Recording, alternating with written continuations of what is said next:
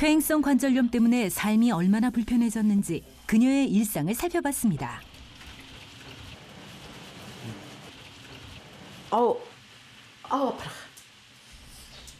10분만 서 있어도 통증 때문에 견디기가 힘듭니다.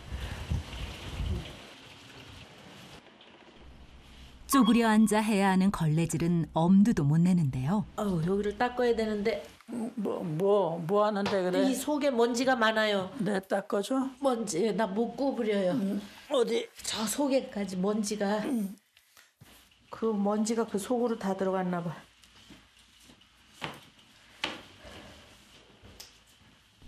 남편에게만 다 맡겨둘 수 없어 나름 찾은 방법이 의자입니다.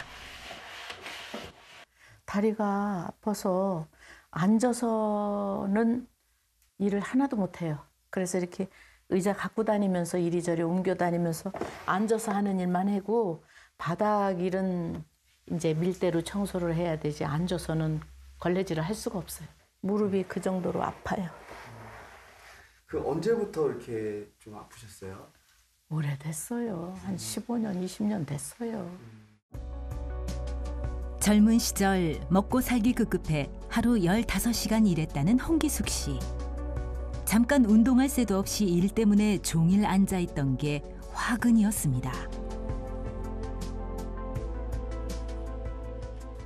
너무 걷지 않고 의자에만 앉아 있는 일을 한 30여 년 했더니 너무 안 써도 퇴행성 관절염이 된대요. 써서만 되는 줄 알았더니 안 써도 퇴행성 관절염이 된대요. 의사 선생님 말씀이 가만히 앉아만 있고 걷지도 않으니까 체중은 뭐 날로 날로 불어났죠. 네. 뭐 그렇게 힘들어 내가 닦아줄게.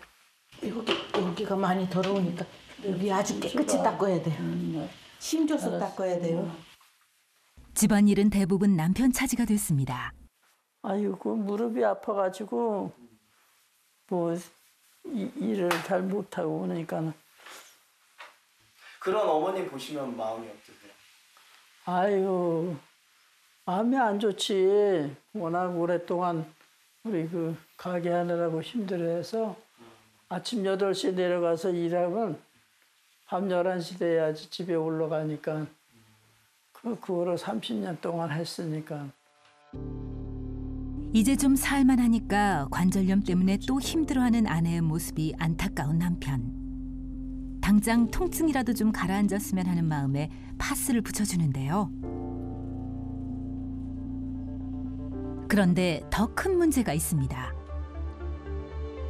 다리 여기저기 생긴 멍과 상처. 이것도 관절염 때문이라는데요.